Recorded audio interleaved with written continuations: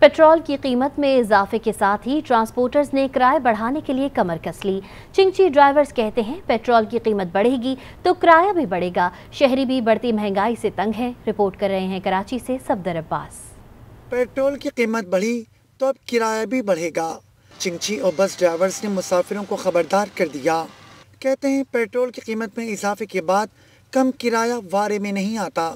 आवाम देती नहीं है बोलती है इतनी महँगाई है ये वो पेट्रोल बढ़ गया बीस रुपये पेट्रोल अभी बढ़ गया है। क्या करें मजबूरी है। गरीब आवाम है आवाम से क्या लें?